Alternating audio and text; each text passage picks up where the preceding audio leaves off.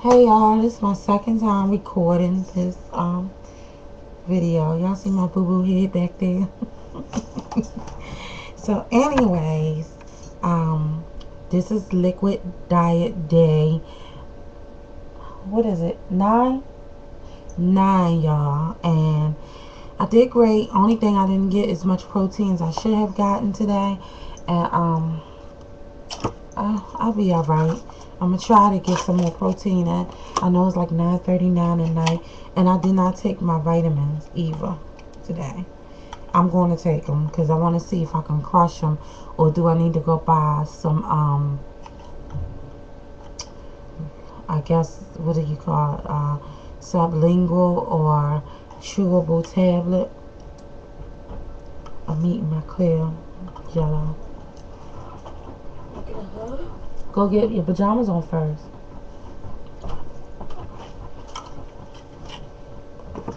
What are you doing, Mom?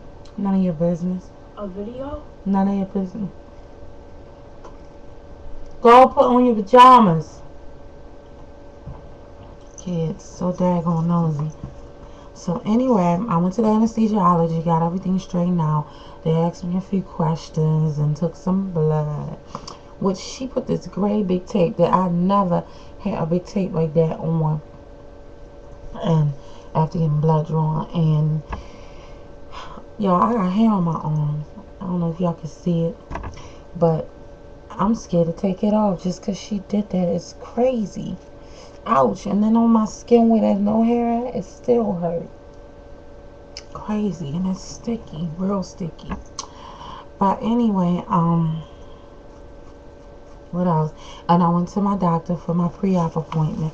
And my final pre-op we talked about, which is the same thing we talked about and um with the um anesthesiology, she asked a couple questions about did I drink, am I my alcohol, do I drink, do I take outside drugs and stuff like that, you know the usual. And the doctor in the last appointment before surgery, he um basically just touched bases on everything, me being on the liquid diet, a high protein liquid diet and um clear liquids which I've been so they don't so they can do laparoscopically surgery on me um, instead of having to cut me open you know so which I know he gonna do laparoscopic because I've been following my diet. I cheated one time and that was way earlier and I know that I'll be fine. My liver should have shrank. I lost 10 pounds for sure. I went there and they said I was um one I mean 263 so yeah. Um what else? What my scale is two pounds lighter um had me two pounds lighter than their scale because my scale um i do i stand on it with barely no clothes on i stand on that scale i got on a big heavy sweater and big heavy jeans so even my fiance asked why didn't they take two pounds off for the clothes but they don't which is no big deal um, so I'm probably really, uh, um, it said 263, so on my scale, I should be 261. Yeah, 261. And either way. Your weight, your clothes has weight to it, so in real, in actuality, you're supposed to subtract a pound or two from the scale. And that's what they're supposed to do, but they don't do. You hear? anyway, yeah, because you got on heavy jeans and heavy sweater, jewelry. Because your clothes has weight. Yeah, this stuff got weight. Even when we go on a Wii Fit board, it even says the same thing, you know, subtract two. It asks you, do you have on light clothes? Now, we usually when I get on a Wii Fit board, I don't have on heavy clothes. And my weight that I get on the Wii Fit and the weight that I get on my scale at home is the same. They both match. Um, so I know that it's too bad, it don't even matter, you know. But give, it make us a difference. It make a difference, but I know what I am. so anyway, there. Okay, so we said I lost ten pounds. We talked about the protein. Oh, and um, they also asked did I, did I finish my last tests, which they should have seen on the paperwork that I did my EKG and my chest x-ray and blood work. Anybody that's doing this weight loss surgery, do your tests as soon as possible. The only one they make you wait on is that chest x-ray because they like it close the time. But do it as soon as possible. And the minute they tell you to take that chest x-ray, go in there like the next day. So you don't have all that stuff to deal with like me. Because I hear people the last week, they dealing with all this stuff. Not me. Mm-mm, I only had to go to my pre-op appointment and the anesthesiology.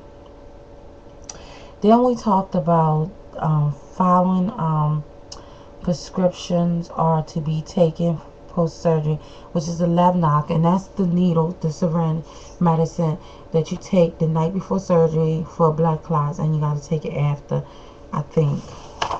I'm not sure how long, I'll let y'all know.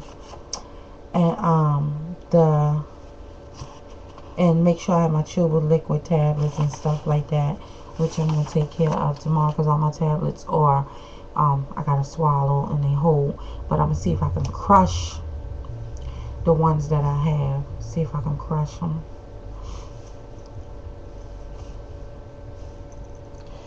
and um, what else? Okay so yeah Lovenox start the night before surgery that's the needle and you got to do it from the belly down. Um, they prefer not the belly really because it leaves bruises and you gotta get surgery there. So they prefer you put in the thigh or butt. Um, you can do it or someone you know can do it for you. And then they have the Hibiclens which is the body wash that you use four days before which I, they tell you just wash the front area from like the shoulder down to the um, thigh but I probably do the whole body, you know, because I have enough to do the whole body. So I'll do the whole body just to make sure. Um, nystatin, you got to switch that around in your mouth and then swallow. And it's not pleasant, they said. So that's to keep infections down out of the throat area and the mouth area the Reglan, that's for reflux. That has to be taken the night before um, surgery.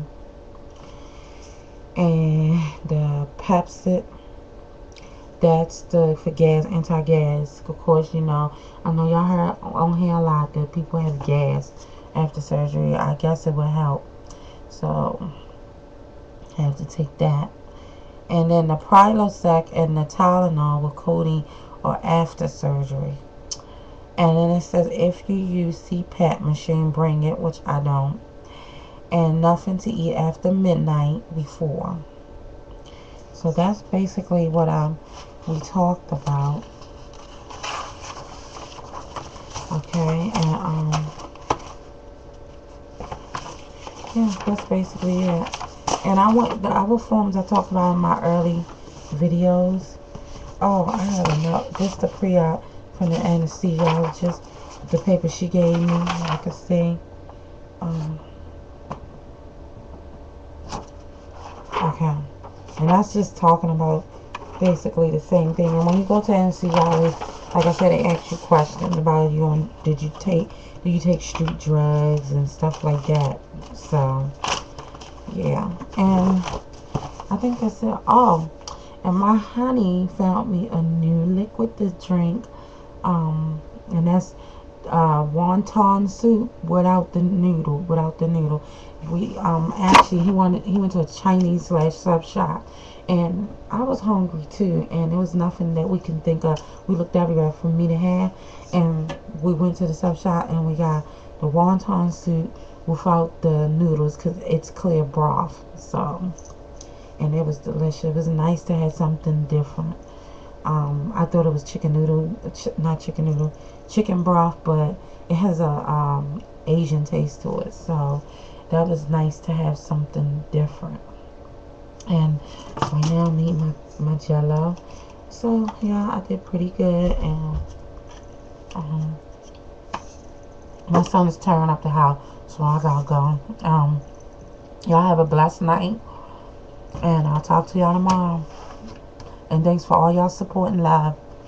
Bye.